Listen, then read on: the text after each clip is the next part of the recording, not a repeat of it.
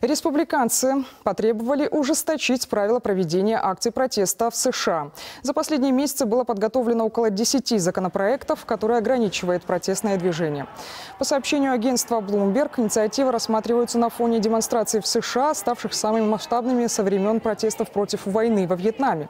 Митингующим хотят запретить носить маски и наказывать с пятилетним заключением за попытки перекрытия транспортных магистралей.